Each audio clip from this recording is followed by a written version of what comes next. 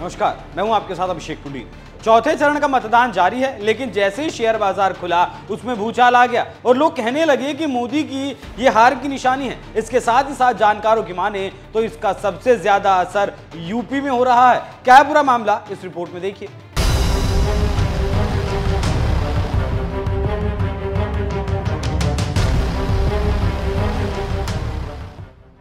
चौथे चरण का मतदान जारी है और कुछ छिटपुट घटनाओं को छोड़ मतदान सही चल रहा है। लेकिन शेयर बाज़ार ने बड़ा संकेत दिया और खुलते ही 700 अंक नीचे लुढ़क गया और पूरे देश में हलचल पैदा कर दी। कहा जाने लगा कि नरेंद्र मोदी सरकार जा रही है। इसके साथ ही साथ कहा जा रहा है, इसका कारण यूपी में बीजेपी का ठीक प्रदर्शन ना करना है, क्योंकि तीन चरणों में बीजेपी पिछड़ रही थी, लेकिन चौथे चरण में कुछ आस थी, लेकिन वो हो ना सका और चौथे चरण में भी बीजेपी को बड़ा झटका लग रहा है। जी हाँ, लोकसभा चुनाव 2024 के चौथे चरण का मतदान जारी है। इस चरण में यूपी की तेरह सीटों पर वोटिंग हो रही है। बीजेपी के सामने इस चरण में अपना पिछला प्रदर्शन दोहराने की चुनौती है, क्योंकि 2019 में बीजेपी ने इन सभी तेरह सीटों पर जीत हासिल की थी।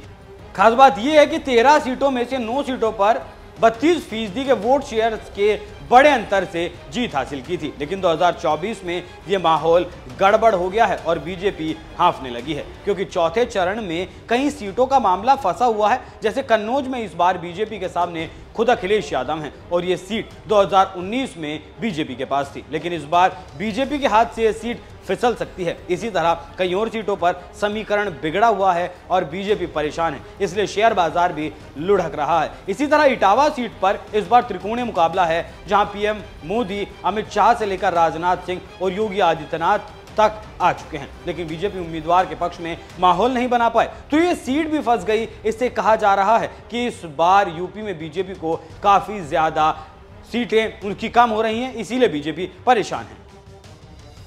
इसके साथ ही साथ चौथे चरण में बीजेपी को मिश्रिक सीतापुर फरुखाबाद में ज़ोर का झटका धीरे से लग रहा है और बीजेपी जो तेरह सीटें जीती थी, वो इस बार पाँच हार सकती है। इसीलिए नरेंद्र मोदी और अमित शाह परेशान हैं और चौथे चरण में बीजेपी इंडिया गठबंधन से काफ़ी पीछे चल रही है। इसीलिए शेयर बाज़ार भी लुढ़क रहा है। कहा जाता है कि देश की राजनीति में कुछ भी हलचल होती है तो शेयर बाज़ार पहले पड़ता है और शेयर बाज़ार रिएक्ट करता है और इस बार भी शेयर बाज़ार चार बार लुढ़क चुका है। जानकारों का कहना है कि तीन चरणों के बाद बीजेपी पिछड़ गई और 2019 का प्रदर्शन नहीं दोहरा पाएगी। ये कंफर्म हो गया। राजनीतिक विश्लेषक कह रहे हैं कि इस बार बीजेपी यूपी में आधी सीटें जीत पाएगी, जैसा कि यूपी में 80 सीट हैं।